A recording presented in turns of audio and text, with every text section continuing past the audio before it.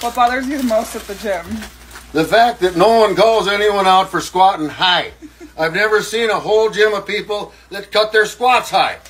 Back in my day, we called each other out on it. Not hitting an appropriate depth when squatting is often because we let our ego choose the weights for us.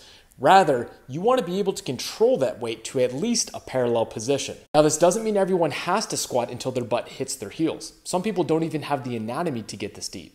But no matter your anatomy or even your age, you should be able to at least hit a parallel depth. Remember, the squat is a fundamental movement ever before it's an exercise. You think this guy has a problem getting in and out of a chair at his age? I don't think so.